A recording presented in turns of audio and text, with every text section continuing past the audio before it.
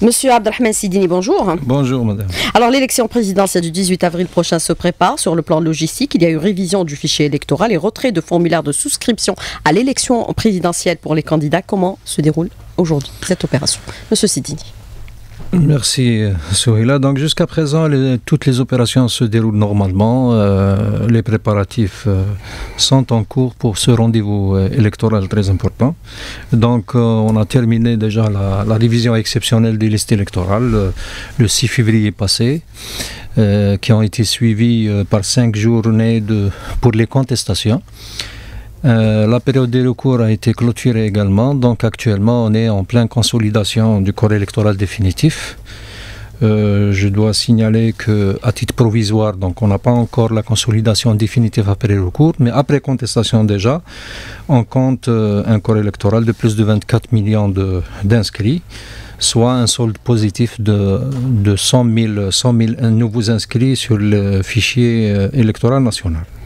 Il y a eu pour la communauté à l'étranger une légère euh, baisse de 925 000 à 914 000 euh, en raison des, opérations d'assainissement. Mais au niveau national, donc, il y a eu quand même une grande dynamique. Il y a eu quand même plus de 408 000 inscrits et 302 000, euh, radiés. Mais qu'est-ce que vous entendez exactement, M. Sidini, par consolidation du corps électoral? Vous n'avez pas le nombre avec précision malgré la numérisation de tout l'état civil? Non, on a la consolidation. D'ailleurs, la preuve, on vous a donné euh, les derniers chiffres après les contestations. Mais une fois que la période des recours se termine, donc on préfère laisser le temps nécessaire aux services communaux pour fixer définitivement le corps électoral. Donc, euh, normalement, le 3 mars, on va faire la consolidation automatisée. On fait des consolidations par moyen informatique. Il n'y a pas de problème pour cela.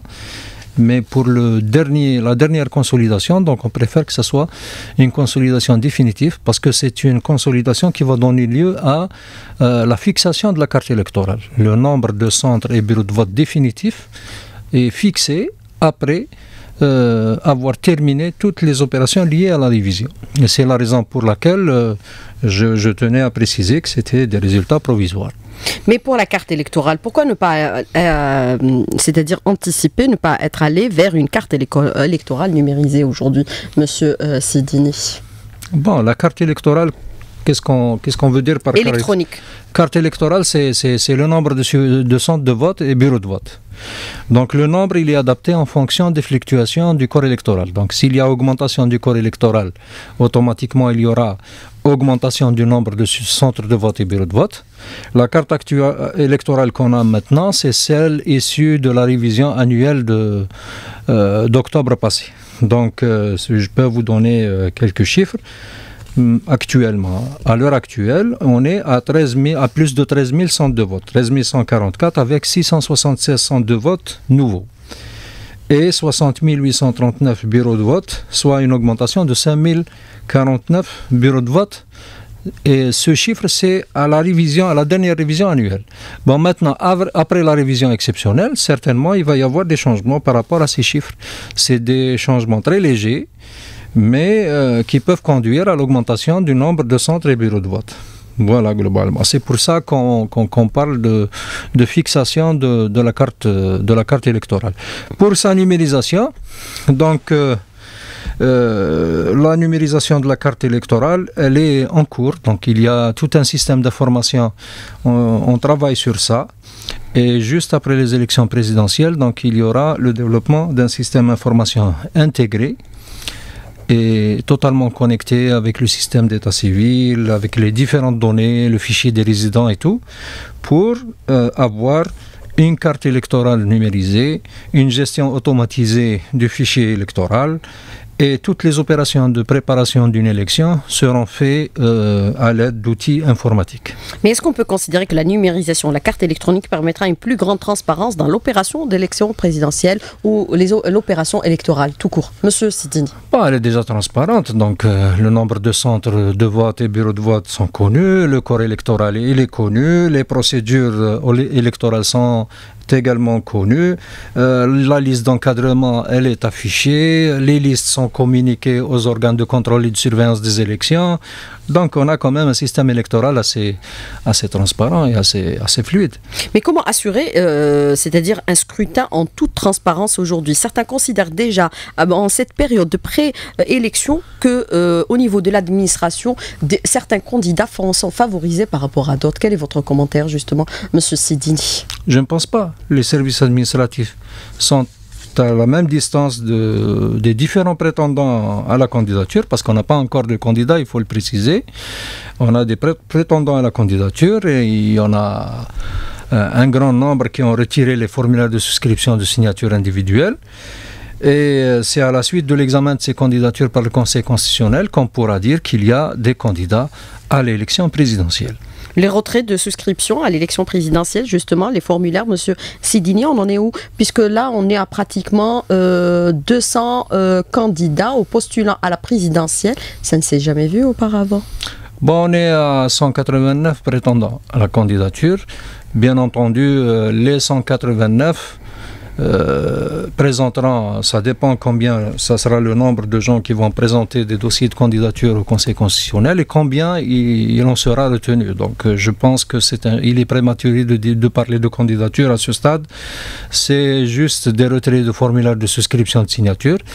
Et par la suite, c'est des dossiers qui doivent être euh, déposés auprès du Conseil constitutionnel. Il y a des conditions, bien sûr, qui sont prévues par la Constitution et par la législation en vigueur. Et euh, il n'est pas dit que toute personne qui a retiré les formulaires de souscription remplit les conditions. Donc euh, c'est au Conseil constitutionnel par la suite de statuer sur les dossiers qui lui seront présentés. Mais quelles sont les conditions d'éligibilité aujourd'hui pour accéder euh, bien sûr à la présidentielle, Monsieur Sidini? Est-ce que bien sûr le retrait de formulaires est individuel? Puisqu'on a vu que certains prétendants à la présidentielle ont retiré les formulaires au nom du parti, mais or que l'inscription elle est individuelle. Est-ce que cela veut dire que c'est une implication directe euh, du prétendant à la présidence et du candidat potentiel Bon, l'opération, comment ça se passe? Déjà, il y a une lettre d'intention qui est rédigée. Individuelle oui, individuel, qui est présenté par le prétendant à la candidature et qui est présenté au ministre de l'Intérieur. Et euh, sur la base de cette lettre d'intention, il procède au retrait des formulaires de souscription. Bon, le retrait, il peut se faire directement par le prétendant lui-même, comme il peut mandater quelqu'un d'autre, soit au titre du parti ou au titre de sa représentation personnelle, pour procéder au retrait des formulaires. Et c'est ce qui s'est passé avec l'ensemble des partenaires qui se sont présentés au ministère de l'Intérieur. Mais euh, les conditions d'éligibilité pour bien sûr euh, euh, retirer les formulaires, tout le monde peut accéder à cette demande, monsieur Sidini. Vous ne pouvez pas interdire à un candidat de retirer ou de ne pas retirer parce qu'il ne remplit pas les conditions d'éligibilité. C'est le rôle du Conseil constitutionnel? Justement, c'est le rôle du Conseil constitutionnel, c'est à lui seul, il est souverain dans l'examen des dossiers de candidature. Pour nous, c'est juste remettre des formulaires de souscription en fonction de l'exigence législative, soit les 60 000 euh, formulaires de souscription au titre des électeurs et euh, le 600, les 600 formulaires de souscription au titre des élus. Alors euh, aujourd'hui, Monsieur euh, Sidinis, ce qui est relevé, c'est certains qui parlent de certaines contraintes, bien sûr, euh, pour l'obtention des signatures au niveau des collectivités locales par rapport à leur souscription à, la présidentielle, par rapport au formulaire d'inscription. Est-ce qu'on peut considérer qu'il y a réellement là des contraintes administratives qui sont posées par l'administration, ou alors toutes les facilités ont été accordées? C'est le cas ou pas le cas? Puisqu'on a vu quand même ce qui s'est produit au niveau de Khanchla, Monsieur Sidini. Ce n'est pas ce qui ressort des, des rapports que nous recevons au quotidien, il y a des millions de formulaires de souscription qui ont été légalisés à travers le territoire national au profit des différents prétendants à la candidature. L'opération se déroule normalement.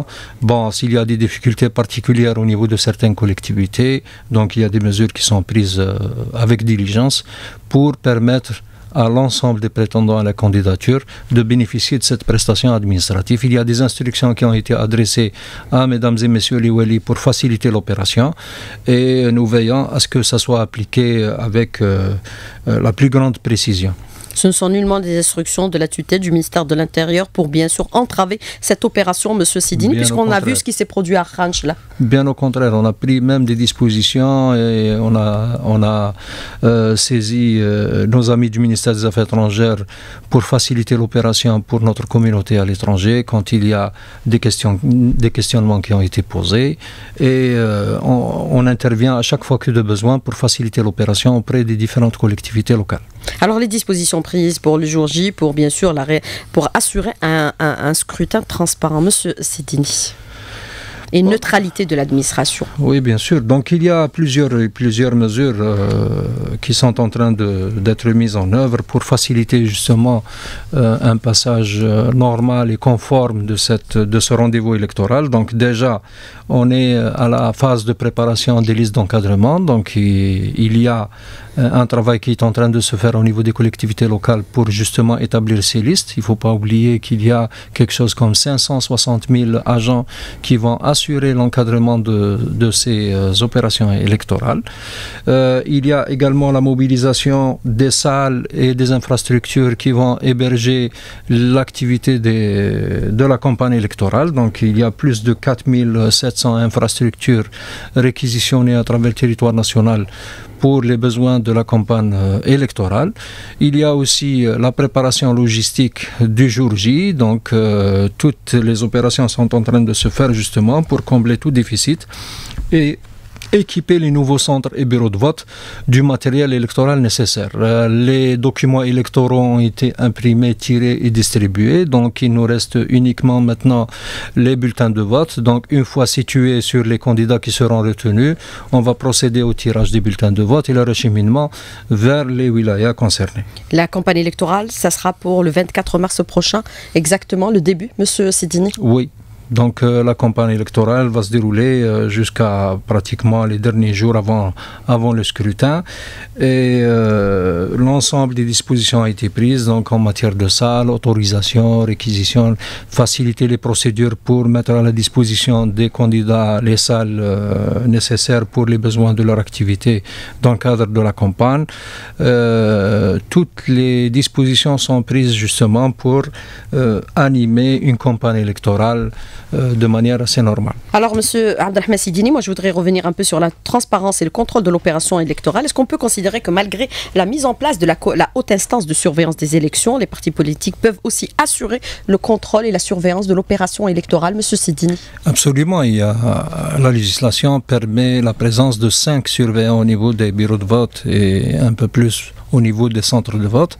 Donc les candidats pour, pourraient éventuellement euh, réquisitionner un personnel pour la surveillance de ces élections et ils sont présents pratiquement du début des opérations jusqu'à la fin des opérations. Donc toutes les opérations et en plus de ça, donc ils, ils bénéficient du PV de dépouillement au niveau du bureau du vote. Donc le, le représentant du candidat mandaté euh, peut avoir une copie certifiée conforme à l'original du PV de dépouillement. Donc ils pourront euh, contrôler toutes les opérations électorales du début jusqu'à la fin. Les, les pour, partis pourraient disposer du fichier électoral également Oui, bien sûr. C'est une obligation légale. Donc, euh, nous remettons à chaque consultation électorale aux représentants des candidats le fichier, euh, les listes électorales, parce qu'au niveau en Algérie, on a des listes électorales communales. Donc, l'ensemble des listes sont remis euh, aux représentants des candidats mandatés. On parle bien sûr de surveillance de l'opération électorale, avec bien sûr la présence des représentants de partis politiques ou de candidats à cette élection euh, présidentielle. Des observateurs étrangers seront présents également, Monsieur Sidini Oui, également. Donc, il y aura des observateurs observateurs internationaux pour cette consultation électorale. Plusieurs organisations ont été sollicitées pour euh, dépêcher euh, des observateurs et le ministère des Affaires étrangères est en train de faire le travail avec euh, l'ensemble des partenaires. Alors, euh, pour des modalités un peu pratiques, par exemple, les mesures qui ont été prises pour faciliter euh, l'opération électorale au niveau de la communauté internationale, est-ce que toutes les dispositions sont assurées aujourd'hui, M. Sidini, puisque la machine déjà euh, est en marche depuis la convocation du corps électoral, depuis la date de la convocation du corps électoral? Oui, donc suite à la première réunion de la Commission nationale de préparation des élections et sur instruction de M. le Premier ministre, il y a un certain nombre de facilités qui ont été accordées pour notre communauté établie à l'étranger, notamment faciliter la souscription des procurations pour les gens qui ne peuvent pas se déplacer le jour J pour des raisons professionnelles ou autres. Donc ils peuvent euh, euh, établir des procurations euh, là où ils se trouvent et qui, feront l'objet de validation auprès, des, auprès de l'administration consulaire. Et puis la deuxième chose, c'est qu'il y, a, il y aura renforcement du nombre de bureaux de vote déployés auprès des centres de concentration de notre communauté à l'étranger. Et il y a un travail qui est en train de se faire par les collègues du ministère des Affaires étrangères, justement, pour mettre en œuvre l'ensemble de ces instructions. Vote par procuration, des dispositions également, Monsieur Sidini Oui, le vote par procuration, donc on est en pleine phase maintenant de souscription des procurations et il y a des facilités, donc comme je le disais, pour notre communauté. On a facilité encore plus la, les procédures, donc ils peuvent souscrire les procurations là où ils se trouvent sans avoir à se déplacer. Et c'est l'une des, des, facilités qui ont, été, qui ont été accordées parce que par le passé, pour souscrire une procuration, il fallait se déplacer au poste consulaire. Bon, maintenant, ce n'est plus le cas. Et il y a des procédures qui ont été mises en œuvre pour cela. Alors, euh, pour le jour J, en cas de perte de la carte électorale, est-ce qu'on peut toujours voter, Monsieur Sidini? Bien sûr, le vote se fait euh, par le, document d'identité, donc euh, la carte d'identité est présentée, pour peu que la personne soit inscrite sur la liste. D'identité possible, c'est-à-dire même un passeport ou un, permis de conduire. Oui, un document d'identité qui est présenté. L'essentiel, c'est que la personne soit identifiée la première condition. La deuxième, c'est qu'elle soit inscrite sur la liste euh, électorale. Bien sûr, si elle n'est pas inscrite sur la liste électorale, c'est la raison pour laquelle, lors de la révision exceptionnelle, donc, on exhortait la population à s'inscrire pour les gens qui ne sont pas encore inscrits. Mais il suffit d'avoir un document d'identité pour exercer son devoir de vote le plus normalement du monde. Mais si on n'est pas inscrit sur le fichier électoral, impossible de voter. Absolument, bien sûr.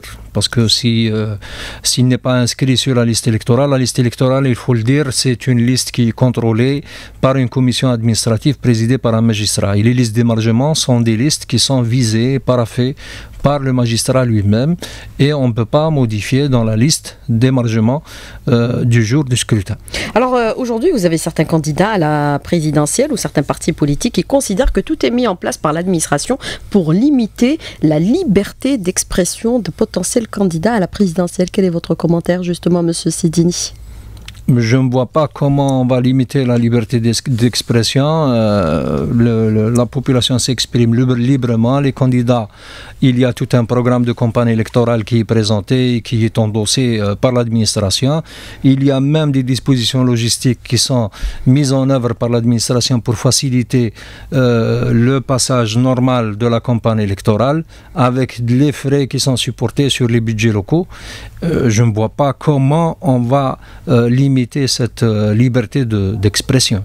Est-ce qu'on peut considérer que le vote, c'est-à-dire les urnes, sont le seul moyen d'expression de sa volonté aujourd'hui, Monsieur euh, Sidini?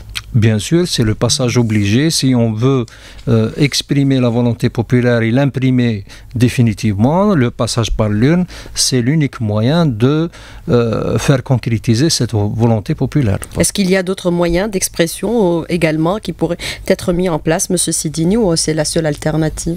Il y a différentes formules d'expression de cette liberté euh, dans le cadre du processus électoral. Euh, quand on parle de campagne électorale, c'est pas uniquement des meetings ou des rencontres dans des salles fermées, mais il y a plein d'activités dans le cadre de cette campagne électorale. Donc, euh, il y a ce qu'on appelle une ambiance électorale. D'ailleurs, elle commence à s'exprimer à travers les, différentes activités qu'on est en train de voir, même avant même le, début de, de, la campagne électorale.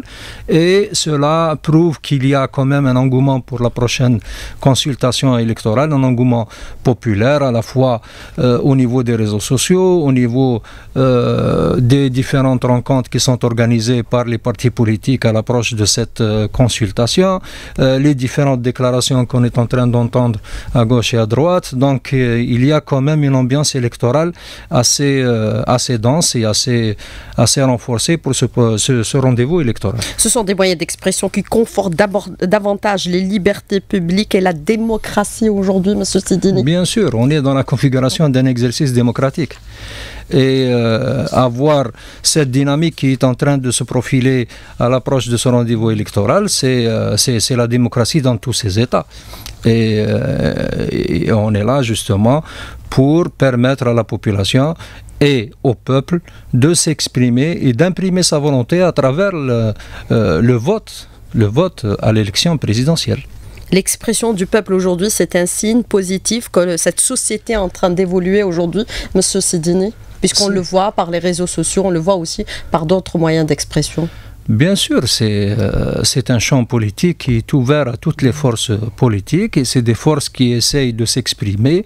Maintenant, il y a les réseaux sociaux qui s'invitent euh, comme euh, un autre affluent de cette, vie politique et c'est tant mieux. Donc c'est une concurrence électorale qui va trouver son, son aboutissement le jour J à travers l'urne, bien entendu. Les réseaux sociaux, autre forme d'expression aujourd'hui vous tenez compte, hein, euh, Monsieur Sidini Vous prenez en considération des expressions sur les réseaux sociaux C'est important pour vous? C'est un indicateur? C'est une des formes d'expression citoyenne. Qui ne peut pas être réprimée parce que certains, ils ont dit, il y a quelques jours, on a connu des perturbations et coupures d'Internet. Je pense euh, que dans notre pays, c'est l'un des pays arabes là où il y a le plus de liberté d'expression. Donc il n'y a qu'à voir euh, les différentes chaînes de télé, les différents, euh, les différentes journaux de presse écrite, euh, les différents sites au niveau des réseaux sociaux, nos portails web institutionnels qui reçoivent les commentaires des, populations. Donc il y a quand même des espaces d'expression assez importants qui sont à la, portée de la population. Et euh, je pense que l'espace de communication, euh, de manière générale, exprime en quelque sorte la diversité des, positions de, la population et qui, justement, à l'occasion de cette élection, sont mises à l'épreuve à travers cet exercice démocratique. Alors, euh, des questions des auditeurs. Euh, un auditeur qui vous dit aujourd'hui, le plus grand parti politique en Algérie, c'est justement l'administration qui réprime toute volonté aujourd'hui d'expression. Quel est votre commentaire, monsieur Sidini? Bon, je dirais que l'administration, ce sont euh, c'est des citoyens comme tout le monde. Donc, des, ce sont vos frères, euh, vos aînés, euh, vos parents qui se trouvent au niveau de l'administration. L'administration, ce n'est pas un corps étranger. La même chose pour les corps de sécurité qui sont là pour veiller à la sécurité du citoyen et à la protection des édifices publics et la protection des personnes et des biens. Donc, il ne faut jamais différencier entre l'administration et ses corps de sécurité par rapport à la population parce que c'est des enfants du peuple. Ils sortent de cette, de, de cette profondeur populaire et ils vivent les mêmes, les mêmes euh, émotions qu'un citoyen. Et on est peut-être dans des configurations professionnelles un peu différentes. L'administration est tenue par l'impartialité et la neutralité. Il y a des lois avec lesquelles nous travaillons. Nous respectons tout le monde. On est à la même distance de tout le monde et on essaye de remplir notre mission avec le plus grand, le plus grand souci d'impartialité, de neutralité et de, de, de, servir le pays et servir le citoyen en premier lieu.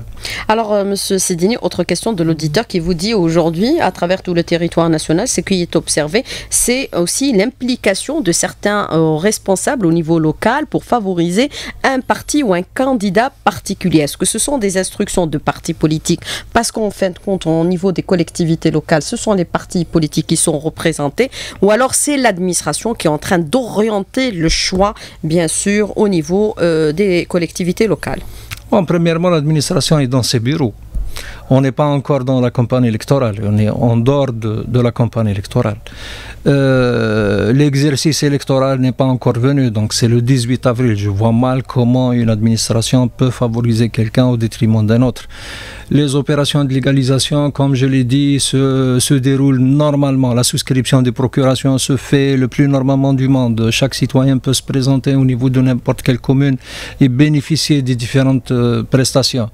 Bon, maintenant, peut-être que euh, c'est le contexte électoral qui fait que maintenant, l'enjeu de la neutralité et de l'impartialité est commenté par les uns et par les autres. Mais l'administration est toujours dans son rôle, elle ne change pas de camp. Elle continue son travail le plus normalement du monde, elle applique les lois de la République elle est au service du citoyen, quel qu'il soit. Alors, euh, vous avez euh, certains qui appellent aujourd'hui à aller vers une compétition un peu loyale et éviter certains dérapages, quand par exemple porter atteinte à la dignité de certaines personnes ou, euh, ou aller vers l'invective ou l'injure. Quel est votre commentaire justement précisément par rapport à cette question, Monsieur Sidini? C'est notre revendication justement. S'il y a une forme d'expression quelconque partisane ou populaire délibérée, il faut que ça soit une expression pacifique, une expression respectueuse de l'autre, une expression constructive et non destructive qui évite la manipulation, qui évite l'injure, l'invective, comme vous, comme vous le dites. Et c'est ce qu'on demande. On ne demande pas plus que ça. Est-ce qu'on peut considérer que la présidentielle, c'est une, euh, une, euh, c'est quand même un rendez-vous électoral un peu particulier par rapport qui suscite plus d'intérêt de la part de population? Et on le voit aujourd'hui s'exprimer aussi bien sur les réseaux sociaux que par d'autres formes d'expression, Monsieur Sidini. Oui, bien sûr. C'est le rendez-vous euh, électoral présidentiel. C'est un rendez-vous. C'est le plus important des rendez-vous électoraux. Hein. Bon euh, si on fait une analyse, on trouve que c'est pratiquement le premier rendez-vous en termes d'importance et qui est suivi par les élections locales et vient après les élections législatives. Où le taux de participation habituellement est plus important. Habituellement, c'est le taux de participation le plus important. Il y a un engouement de la population, il y a quand même une ambiance euh, électorale assez électrique qui se, qui se profile à chaque rendez-vous électoral présidentiel et c'est tout à fait normal. C'est par rapport à l'importance de l'institution. Il ne faut pas oublier qu'on est dans une configuration constitutionnelle euh, je dirais, semi-présidentielle. Donc, euh, c'est l'élection présidentielle, quand même, c'est un rendez-vous particulièrement important pour l'organisation euh, des services de l'État et pour justement le système de prise de décision de manière globale. Et c'est ce qui fait que l'ensemble des partenaires politiques euh, accordent une attention particulière également pour la population qui essaye de se positionner par rapport à ce rendez-vous. Donc euh, il y a euh, différents partenaires qui essayent d'attirer la population vers des choix politiques bien déterminés. Il y a une population qui veut s'exprimer et imposer des choix particuliers par rapport à cette consultation électorale et le résultat, bien sûr, sera connu le jour J. Donc, euh, c'est le couronnement normal de ce processus. Quand vous parlez de l'intervention de l'État, il n'est pas question aussi d'aller vers, par exemple, des dérapages de la part des forces de sécurité pour une intervention quelconque de la population. Monsieur Sidini, soit-elle aujourd'hui une mobilisation? Je pense que les forces de sécurité ont prouvé, encore une fois, à l'occasion des dernières manifestations, que c'est des forces de sécurité qui sont au service du citoyen pour le protéger, pour assurer la sérénité, la quiétude de l'habitant et pour protéger les édifices publics. Ils ont accompagné le citoyen à chaque, à chaque fois dans les différentes activités, soit à l'approche de cette euh, échéance électorale ou bien dans les différentes activités sociales, notamment euh, les manifestations sportives et tout. Donc euh, les forces de sécurité, c'est des forces citoyennes avant tout. C'était aussi des moyens d'expression pacifique oui. de la part de la population. Oui. Oui, ils accompagnent cette, cette expression euh, citoyenne avec beaucoup de professionnalisme et il faut saluer l'effort des forces de sécurité parce que c'est des forces qui sont mobilisées euh, au détriment de leur famille, au détriment de beaucoup de choses, mais qui sont là pour servir la République, pour protéger le citoyen, protéger les, biens publics.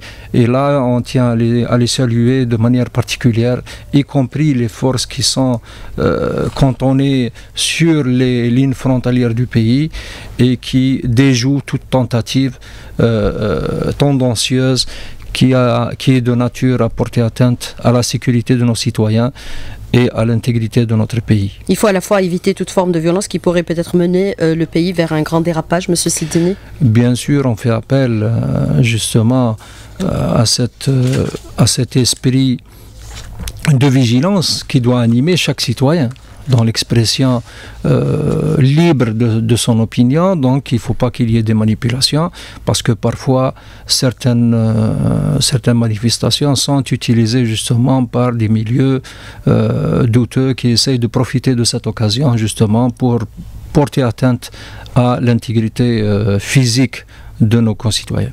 Alors, euh, Monsieur euh, ce qui est relevé aujourd'hui, c'est que les partis politiques n'arrivent pas à mobiliser autant que les réseaux sociaux. Est-ce qu'on peut considérer que euh, les citoyens trouvent une autre forme d'expression plus libre sur les réseaux sociaux, en sachant que parfois ça prend le cachet un peu anonyme? Bon, maintenant, la population, si elle ne trouve pas son écho au niveau de certaines formations politiques ou de certains cadres, bon, elle essaie de s'exprimer à sa manière dans d'autres cadres qui, lui paraissent euh, les mieux adaptés. Mais dans notre configuration, je pense beaucoup plus qu'il y a une dynamique électorale qui est en train de se profiler. Certes, euh, elle est en train de se profiler en dehors de certains cadres, cadres partisans, en dehors du cadre usuel de rencontres politiques mais je pense quand même que c'est toujours dans le contexte électoral. Donc il y a un dialogue électoral qui est en train d'animer la scène politique et qui fait que cette mobilisation s'exprime euh, à travers différents moyens. Alors justement, les conditions, bien sûr, de la campagne électorale, il n'est pas question de toucher aussi, il y a certaines règles qui sont édictées, de ne pas toucher à certaines constantes nationales. Monsieur Sidini, ça c'est la règle, c'est la loi qui le, euh, Je qui pense, le définit. Je pense que notre population, elle est tout à fait consciente par rapport à ces constantes et elle ne C'est demande... l'unité nationale, le drapeau national, l'hymne national, l'arabité, la mazirité et aussi l'islam. Et je pense que c'est ce qui a été exprimé en quelque sorte à, à travers les dernières manifestations et à travers les différentes activités, euh, les différents meetings qui ont été tenus euh, par certains- certaines formations politiques. Donc il- tout le monde tient à ces constantes, donc à la fois, à la fois la- l'arabité, la mazirité et, euh, et l'islam comme religion de l'État. Donc euh, c'est des constantes auxquelles personne ne voudrait qu'on y touche. Alors, Monsieur Sidini, autre question d'un auditeur qui vous dit que les candidats, il faut retenu, est-ce qu'ils auront euh, l'accès à la libre expression ni- sur tous les euh, supports médiatiques? Bien entendu. Dans, Il parle également de la radio et de la télévision dans, notre, dans notre système euh, électoral, il y a quelque chose qui est prévu, qui est très important. D'ailleurs, c'est une des expériences les plus riches et les plus instructives. On a un partage du temps d'accès aux médias qui est calculé à la seconde près. Donc il y a même un système informatique qui a été conçu pour ça, pour assurer à travers un tirage au sort un, un partage équitable à l'ensemble des candidats au niveau des médias, des médias publics. Seuls les médias publics sont bien sûr euh, Oui, bien euh, sûr, les médias astreints publics. à cette condition. Oui. Et pour assurer une équité aussi à l'accès au support communicationnel, donc, il est interdit l'acte publicitaire électoral dans le système euh, législatif algérien. Et c'est euh, une interdiction qui, justement, veille à assurer cette équité dans le partage d'accès euh, à, à la communication. Et c'est ce qui fait la richesse de notre système par rapport à d'autres expériences au niveau euh, régional et international. Monsieur Abdelrahman Sidini, merci d'avoir répondu à nos questions et d'avoir été en direct avec nous ce matin dans le studio. Merci beaucoup, bon courage et vive notre pays. Merci beaucoup, Monsieur Sidini. Merci.